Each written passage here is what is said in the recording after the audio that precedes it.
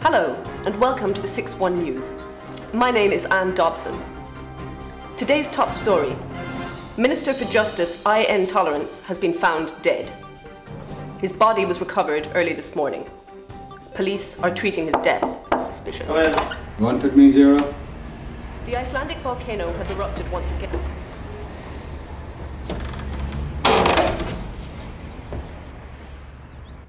I.N. Tolerance was appointed Minister for Justice two years ago and promised a firm hand. I made it clear to the Taoiseach this morning that in accepting the role of Minister for Justice, I felt it my duty to inform him that I would need a free hand to deal with the rampant crime evident on our streets. Going forward together, we will leave no stone unturned to root out the cancer of crime, invading practically every aspect of ordinary decency.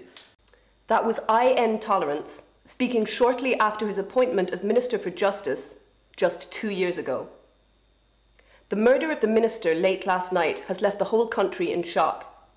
We are joined now in our Leitrim studio by the minister's running mate in the Leitrim Roscommon constituency, former Leitrim County footballer and country and western singer, Mr. Steely Resolve, TD. Deputy Resolve, what do you make of what has happened?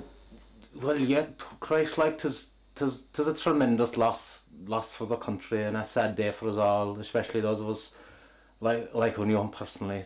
It was only a few hours ago I was saying to him